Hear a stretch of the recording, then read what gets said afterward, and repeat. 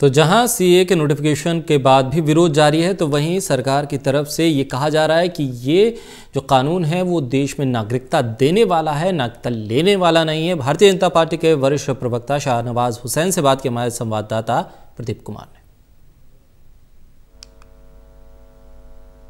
विरोध के बीच चर्चित नागरिकता कानून गजट नोटिफिकेशन के साथ ही पूरे देश में लागू हो गया है। बीजेपी के वरिष्ठ प्रवक्ता सहनवाज हुसैन इस वक्त हमारे साथ हैं। सहनवाज जी नागरिकता कानून पूरे देश में लागू हो गया है, गजट नोटिफिकेशन आ गया है। विरोध के बावजूद ये विरोध दरकिनार हुआ है और पूरे देश में लागू करने का फरमान। देखिए, आज से सिटीजनशिप अमेंडमेंट एक्ट भारत का कानून बन गया, लागू हो गया है। पचास साल, साठ साल से जो नाइंसाफ़ी हुई थी, वो इंसाफ में बदला है।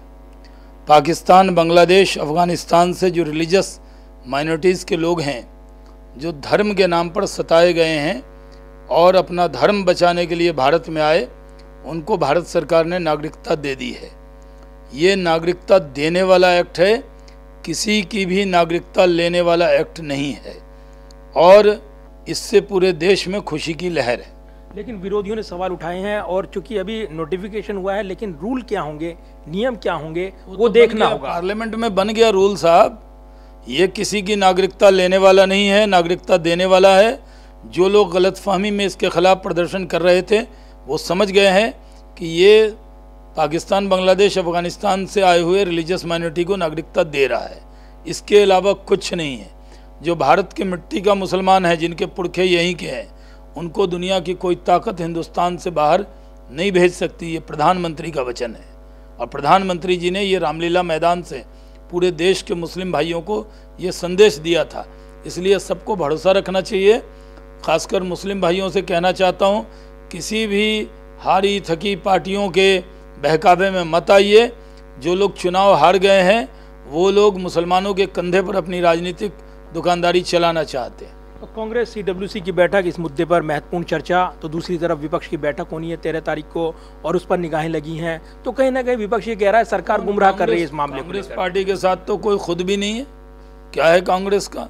ममता बनर्जी उनके बैठक में नहीं आ रही लेकिन अगर देखें आप इस कानून को लेकर जिस तरीके से अलग अलग मत उभर रहे हैं और जिस तरीके से हम प्रदर्शन भी देख रहे हैं विरोधी पार्टियों का, वो ये साबित करने में जुटे हैं कि ये नागरिकता, यहाँ पर जिस तरीके से कागजात मांगने की बात हो या उससे जुड़े हुए प्रावधान हो, वो धार्मिक आधार पर भेदभाव को बढ़ावा देता है और इसलिए उनका विरोध था।